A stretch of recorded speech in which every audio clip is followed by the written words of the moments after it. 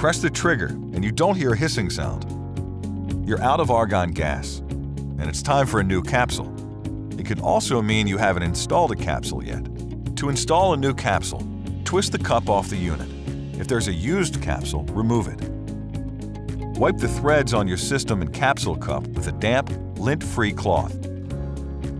Drop the Coravin Pure capsule into the cup, round end first. Twist the cup onto the unit tightly and quickly until there is no give left. Before you start to pour, occasionally check to ensure the needle is tightly attached to avoid losing any gas. Coravin. Savor the glass.